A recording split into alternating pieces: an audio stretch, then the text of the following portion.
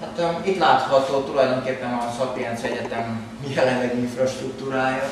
Nincsen olyan szépen egy helyen, mint a Műszaki Egyetem, mert ez három különböző városban van, mint a, mint a Miskolci Egyetem, bocsánat. A bal felső sarokban az a Marosvásárhelyi épület. Mi Zoltánnal ketten ott hallgatóban az egy első emeleten dolgozunk.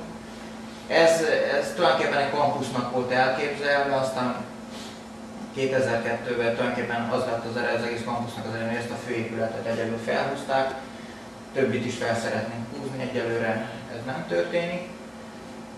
Az a hotel, amiről beszéltem Csíkszeredában, az, amit megvásárolt az egyetem, céloknak természetesen megfelelően, az alsó szintek azok ugye előadótermek, illetve át, persze átalakítás után előadótermek, szemináriumtermek vannak, felső szinten pedig bentlakásnak, kollégiumnak használják. Az a bal alsó sarokban látható, az a Kolozsváron az úgynevezett Bocskai ház, az egy, szerintem a Szapiensnek az egy legjobb húzása volt, hogy ezt megvette, hogy ez egy Kolozsváron, az egy Bocskai fejedelmünk született, nagyon rossz állapotban volt a ház, megvette ez a Szapiencia alapítvány, illetve felújította, jelenleg máskülönben már szerintem félig romokban lenne, hogyha ez nem történt volna meg 2000-ben, 2001-ben, illetve annak a környékén. Jelenleg itt működik a rektori hivatal, illetve van néhány előadó, amelyek, ahol a kolozsvári uh, diákok tanulnak. Az Zoltán Gábor vagyok, a Szacenc Egyetemről pillanat tanszéken dolgozom, és most látogatásunk alkalmával ezeket a kis modelleket hoztuk el a Miskolc Egyetembe, hogy bemutassuk, hogyan működnek a szabályzók, az általunk készített szabályzók a gyakorlatban, és ehhez a fizikából vettünk át néhány ismert jelenséget. Az első ilyen jelenség a mágneseségnek a jelensége, tehát amint tudjuk, a mágnes magához vonzza a ferománisos anyagokat, ilyen esetben ez a vasgolyót, próbáljuk lebegtetni egy bizonyos távolságra ezzel az elektromágnes, az elektromágnes, elektromágnes segítségével. A rendszer, mi a szabályozott rendszerről van szó, el van látva egy infraadó vevővel, itt az elektromágnes alatt, itt az adó, itt a vevő, és egy analóg szabályzóval, amely segítségével az áramot szabályozok a tekerében úgy, hogy minden pillanatban egy bizonyos távolságban a gravitációs erő egyenlő legyen az elektromágneses erővel, amelyen ezt a, ezt a vasgolyót a, az elektromágneses vonza. Megmutatnám önöknek is, hogyan működik ez a kis rendszer. Tehát a, a vasgolyót alulról kell ugye oda helyezni, hogy ne vágja el az infravörös sugárnak az útját, és egy néhány percig használható ez a kis rendszer, lévén, ha nagyon rossz hatásokkal dolgozik az elektromágnes, számításaim szerint 1 a 100-hoz a tömeg teljesítmény az arány. Tehát kb. két és fél volt teljesítmény van belevíve a lebegés közben a 25 g-os vasdó lebegtetéshez. A robusztusságát a szabályzónak, ez a kis alátétel megnövelem a rendszernek a tömegét, akkor a rendszer továbbis egyensúlyban van. Maga az, az irányítási algoritmus, mondom, automatizált egy fázis siettető kompenzálással. Ha elvágom egy pillanatra a vörös sugárnak az útját, akkor a golyó másik rendszer ez a mérlekaros inga, bizonyára itt az, hallottam az egyetemen van belőle egy. Én amit készítettem, ez egy teljesen klasszikus megoldásokat használtam, tehát a mérlekaron itt, ha majd megnézik, van egy ellenállás húzal, amely mint egy potenciométer figyeli a golyónak a pozícióját, pontosabban visszaküldöm feszültség formájában azt az információt, hol található a golyó a lejtőn, maga a golyó a potenciométernek a csúszkája, van egy második potenciométerünk itt, amelyik a, a lejtőnek a dőlésszögét figyeli, és egy harmadik potenciométer, amelyik az előkéteket tudom állítani. A rendszert ez a kis motor vezérje, egy magaskerekes áttétellel, H-híd, amely a teljesen klasszikus módon a kétirányú vezérlést biztosítja, és a mikrochipnek a mikrovezérlést használtam, amelyben egy kaszkád diszkrét szabályzó, diszkrét szabályzó megírva, megfelelően behangolva és ideális laboreszköz ugye a különböző irány szabályzatnak a tanulmányozásához. És a Ebben a szabályozásban, tehát az a point, tehát ilyenekkel foglalkoztam, tehát egyrészt az Amirával, másrészt ezzel. Én az Amirával azóta nem. Tehát azt mondtam, hogy nagyon fontos az, hogy maga az irányítás nem csak egy pozíciós szabályozás, hanem a lejtőt is kell stabilizálni, tehát a túl nagy lejtő kitöréseket kell büntetni. Hát még van két, két, két kis modellem. A harmadik modell, amit szeretnék megmutatni, ez a egyensúlyozó robot. Ez a, a, ugye az inga, a, a fizikában ismert inga, amit ha megfordítunk, és lesz kapjuk az inverz ingát, ezt csak mint vezetőként mondom.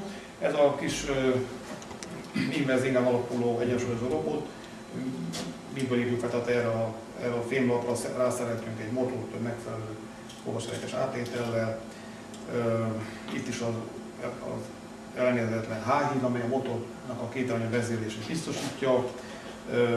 Ugyanúgy, ugyanazok az infravörös szenzorok működnek, adóvevő, amely méri a távolságot egy, egy viszintes síkig, jelenleg az asztal síkjához, és egy... Ultrahangos? Nem, infravörös. Ugyanazok, ugyanazok a, az infravörös adóvevő rendszer, csak itt visszavervéssel működik, itt meg, itt meg szentől szemben a két eszköz és uh, ugye az a felület az intenzitás vagy, vagy idő? Nem befolyás, tessék.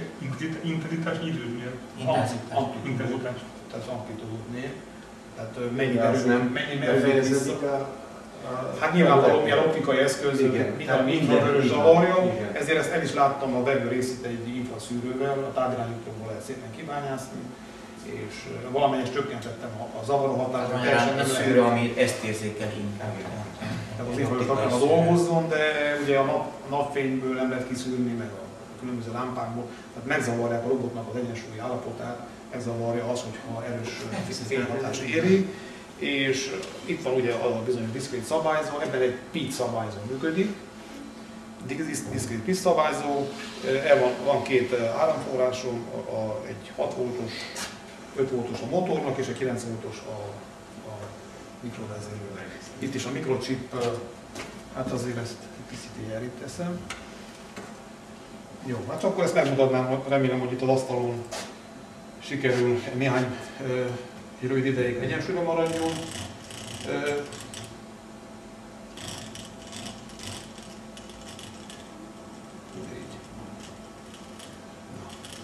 Tehát az országon világ legolcsóbb Utolsó kis modellem, egy propelleres óra, ennek nagyon nagy hagyomány van Magyarországon, ennek az órának magyar, magyar weboldalak vannak róla.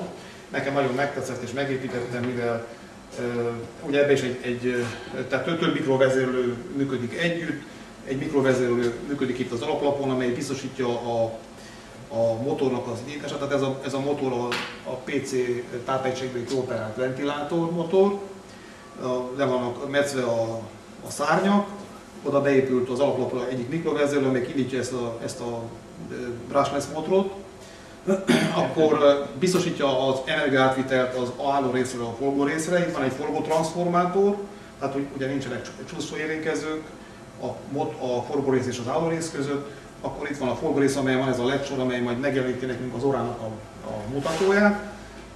A mikrovezérő, amelyben, amely ezt végzi, az óra program fut benne, tehát teljesen szoftver szinten működik minden. És itt a harmadik, ugye ez egy gyári távirányító, de csak azért, azért használom ezt, mert ez egy robusztus építmény, meg, meg tudtam építeni azt is, de mivel egy standard protokollal működik az RC5-össel, tehát és ez, ennek az van, nem volt értelme, hogy még és amúgy sem tudtam volna ezt a billentyűzetet meg ezt így kialakítani. Azt mondta, igen, ebben ebbe pont az rc volt, és ezért, ezért használtam ezt a... Na hát ezt, az órának az indítás, állítása és mindenféle funkciók azt teljesen tárgyalányítóval működnek, ezt még szerettem volna önöknek megmutatni. És ebben az, ebben az órában is működik egy szabályzó, minden fordulatnál a mikrovezérő megméri a a forgórésznek a fordulatszámát, és annak, meg, annak függvényében ki a megfelelő ledeket megfelelő pillanatban. Hát esetleg most minden megjelent, tehát én lekapcsolom a, a analóg mutatót egyelőre, és akkor beállítom, hogy esetleg most nem tudom hány óra van, de gondolom, hogy látják, hogy itt lehet állítani az órát, a percet. Igen, hát itt már mondjuk hatodika van, ugye? Van pozícióérzékelő, hogy hol jár a... Igen, egy, egy, egy, egy, egy